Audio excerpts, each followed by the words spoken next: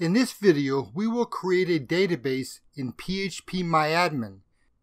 Then we will create a database table to store the user's information, such as their login information and other information.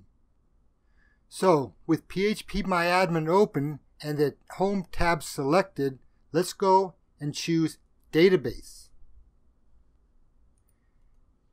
And right down here where it says Create Database, Let's call it d3.projects. Then click create. And now over to the left, notice that we have a database called d3.projects. Now let's create a table. Let's name this table users. Now let's click go. Okay, so now we have to enter fields. Let's start out by naming our first one user underscore ID. It's going to be a type of integer. We're going to allow 10 characters. We'll make the this one a primary key. We'll make it auto increment. Click auto increment.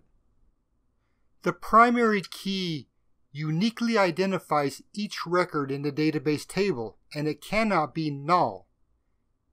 Any one of our tables can have only one primary key. By setting our primary key to auto increment, we will be automatically generating a new number each time we add a new record, and that number will always be one greater than the one before.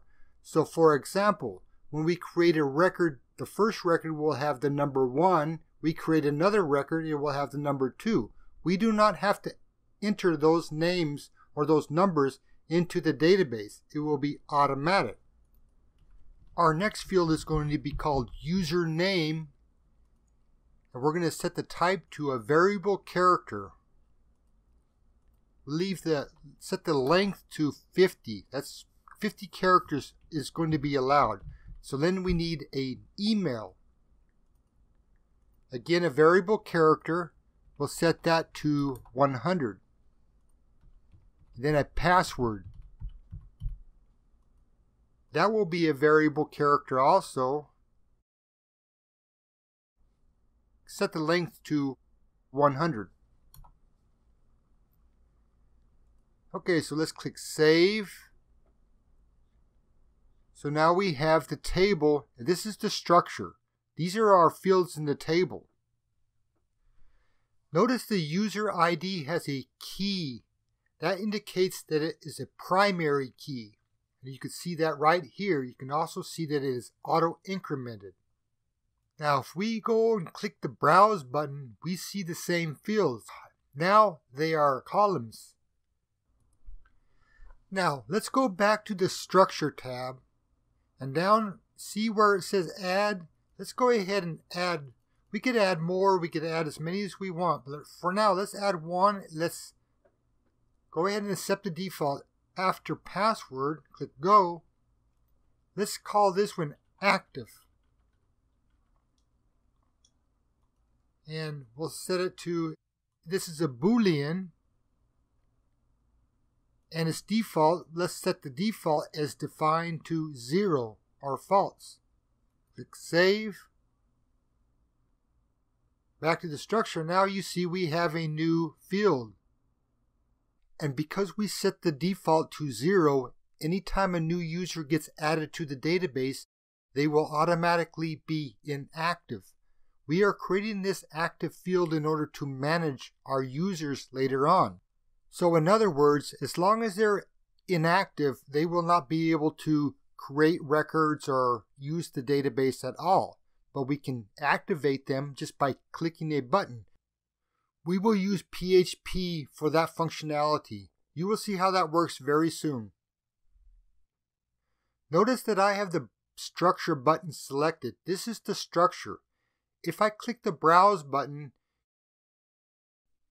now our fields appear to be column headers. Below the column headers, we will create rows of the users in our database. And for that, we will be using an HTML form and PHP.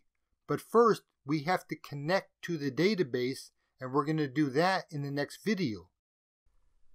For now, I want to give you a brief introduction to PHP. If you already have a little bit of knowledge in PHP, then you probably want to skip the rest of this, but this is going to be just in case you don't. So we have a PHP document open. Right now, inside the body tag, there is nothing in there. We can put HTML in PHP. So right now I'm going to add some HTML. I'm going to add an H1 tag, say intro. This is just plain HTML. So let's go take a look and we see the intro. Okay, but we can also do this same thing with PHP. So I'm going to give me give myself some space. So I'm going to start a PHP tag that's a less than sign, question mark PHP, and then a question mark and a greater than sign.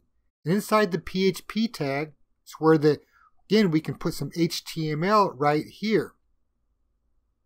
But we can echo, we have to echo it.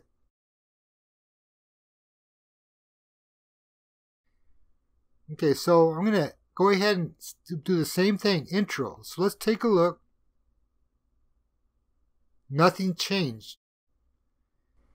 And we can also put our HTML tags inside of our echo statements. So let me show you. Let's take this H1 tag out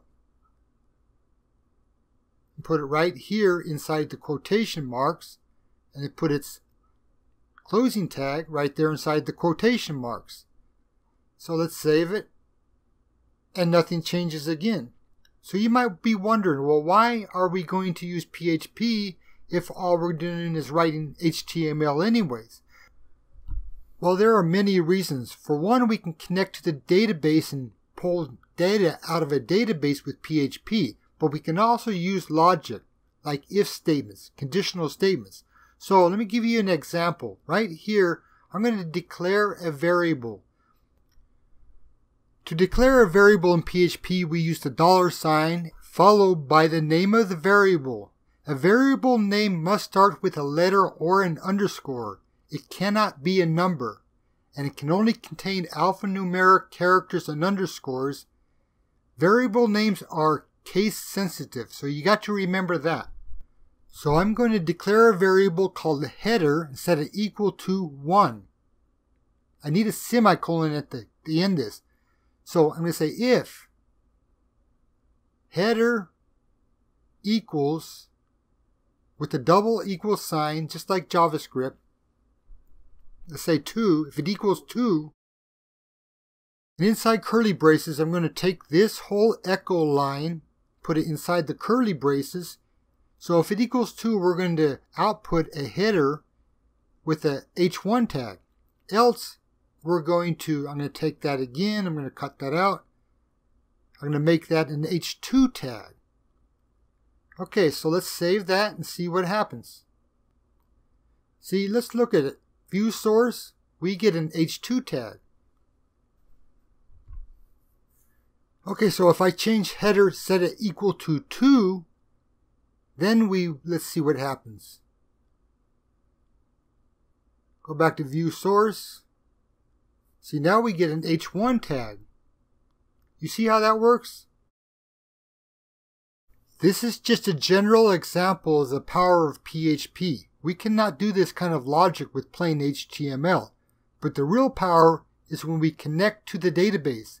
And in the next video, we will make a connection to the database. So I'll see you in the next video, and thanks for watching.